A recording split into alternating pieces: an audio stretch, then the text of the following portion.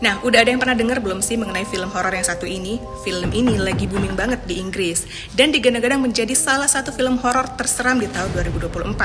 Film ini juga mendapatkan rating yang cukup tinggi loh guys. Bahkan Rotten Tomatoes aja berani memberikan rating sebesar 87 untuk film garapan dari sutradara Os Perkins ini.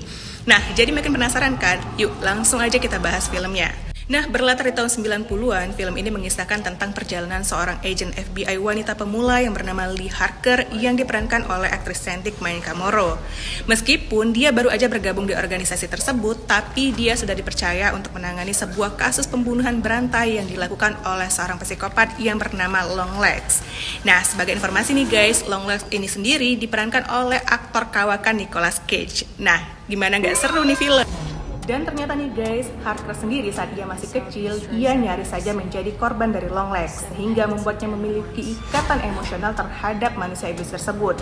Dan semakin misteri ini berusaha untuk dipecahkan, para penonton dibawa ke dalam kengerian fakta bahwa kasus ini bukan hanya sekedar pembunuhan berantai. He'll kill and kill again.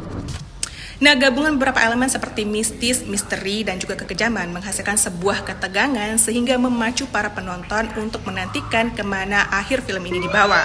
Dan menurutku sendiri, film Longlegs ini berhasil menghadirkan suasana yang mencekam dari awal hingga akhir.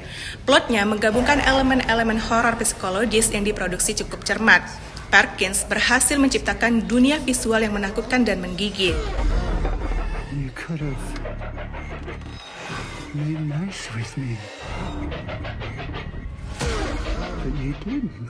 Nah, gimana? Tertarik nggak sih nonton film ini? Kalian bisa langsung aja kok datang ke bioskop terdekat karena film ini mulai tayang di seluruh bioskop di Indonesia mulai hari ini loh guys.